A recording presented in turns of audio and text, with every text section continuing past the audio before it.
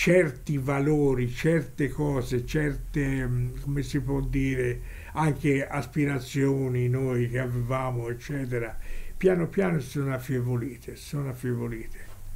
Anche perché, me lo lasci dire, oggigiorno eh, c'è questa corruzione che colpisce diciamo un po' in tutte le direzioni. E certo non è l'Italia per cui noi abbiamo combattuto. Questo è fuori discussione.